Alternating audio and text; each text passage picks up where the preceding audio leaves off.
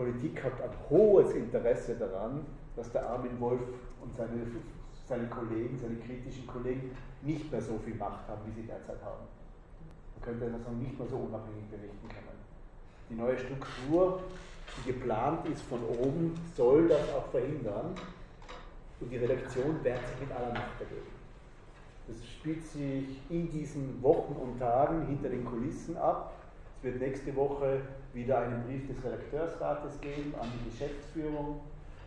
In diesem Brief des Redakteursrates wird drinstehen, nein, Sie schlagen nicht selber eine Struktur vor, aber Sie werden auflisten, was die Nachteile und Vorteile der und der Struktur sind und der und der Struktur sind. Es wird ein intensives Match über die nächsten Wochen und Monate geben. Sie haben bestimmt schon gehört davon, dass Minister Trotzter gesagt hat, es werde im Frühjahr eine ORF-Enquete geben, eine Minister-Enquete die wurde für März erwartet und wurde verschoben. Die wurde für April erwartet. Bisher weiß noch keiner, der bei dieser Enquete sicher teilnehmen soll, wann sie ist.